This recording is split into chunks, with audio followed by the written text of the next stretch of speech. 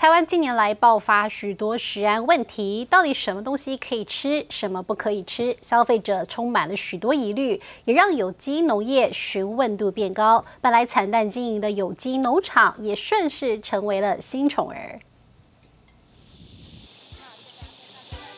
戴上斗笠，一群老师们为了认识有机种植，特别来到农场亲身体验。采一个可以吃的，叫做薄荷。薄荷，对，大家搓一搓，有没有觉得很香？有。农场里头种植有叶菜类、根茎类，还有杂粮类，看得到的作物都采有机种植。是九层塔太多的时候，我们会烘干，然后磨成粉，然后如果你在吃意大利面的时候就可以撒。对对对对，我们在种的时候只会放一次的有机肥。之后我们就不会再放肥料，让它自己去找土里的矿物质，找它的营养。那如果你撒化学肥料下去，它吃的是化学肥料。那薄荷还是看得出来，大家可以拿一叶，然后吃看看，吃吃看看啊！哇，这是什么？这个是薄荷，薄荷叶，薄荷叶，对，薄荷叶。哎，哎，真的，吃吃一下，吃一下。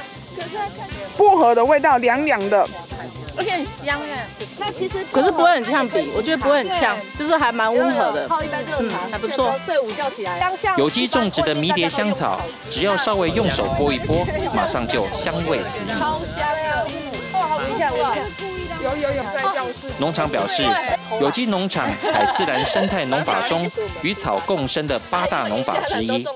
草和作物一起生长，不但能保护土壤，也能保湿。那草对很多传统的农民来说都是一个敌人，啊，看到草大家就恨不得把它除光。可是就我们来说的话，你看到这个全球暖化的一个问题越来越严重，当这些太太阳一出来的时候，这个水分的蒸发是很快的。苗栗县种植有机作物的面积有四百多公顷，农户有两百七十户，但因为成本高，大部分的农户种植面积小，无法有效推广。有能力结合教学、餐饮的农场并不多，因此有机农场在这波食安风暴中获得很好的机会。都在有机的一个蔬菜啊，或是甚至于一些加工品的询问度上面哈，反而增加了很多。那因为现在所有的人人心惶惶，好像这个不能吃，那个不能吃，到底他们要怎么去选择？所以很多人就希望说他实际来农场看。有机秋葵，赞。